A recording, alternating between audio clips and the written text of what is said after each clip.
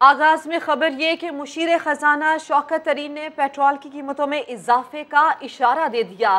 Press conference में बताया कि पेट्रोलियम डेवलपमेंट लिवी में हर चार माह, हर माह चार रुपये बढ़ाना है और लिवी को तीस रुपये तक लेकर जाएँगे। शौकत तरीन ने बताया कि चार आशारिया पचानवे रुपये के टैरिफ बढ़ाएँगे, जबकि उनके नज़दीक टैरिफ बढ़ाना मसले का हल भी नहीं। प्रेस कॉन्फ्रेंस में उन्होंने मजीद क्या कहा, आपको दिखाते हैं।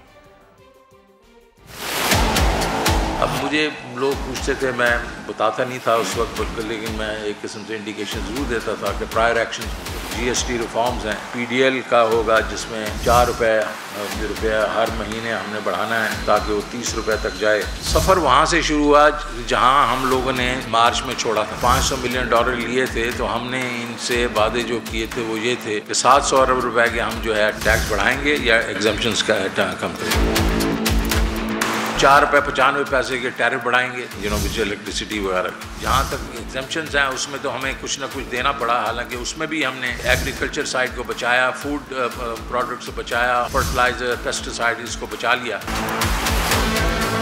तो आधा आपको बचा दिया। हम इसमें बिलीव करते हैं कि स्टेट बैंक जो है, वो सेंट्रल बैंक जो जिस तरह दूसरे मुल्कों में इंडिपेंडेंट होता है, इन दो तीन चीज़ों में monetary policy exchange rate policy है प्राइस डिटर्मिनेशन है।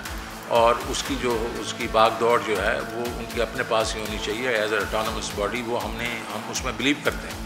तो इन वो हम उसको पास करवाएँगे।